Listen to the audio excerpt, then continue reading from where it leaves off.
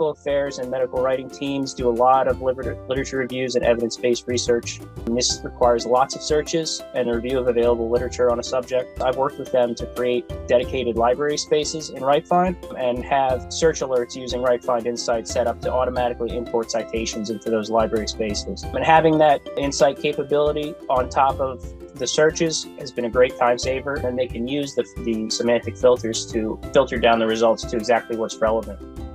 And we can quickly discover who else is working in a space, whether it's comparing products or reviews that might be in the literature or working in a systematic way to find content across competitors or indications. Not only is this a great tool for somebody just sitting down and using it for the first time, doing searches on their own, but you can really set up an alert network that gets relevant searches and relevant information pushed to the people who need it.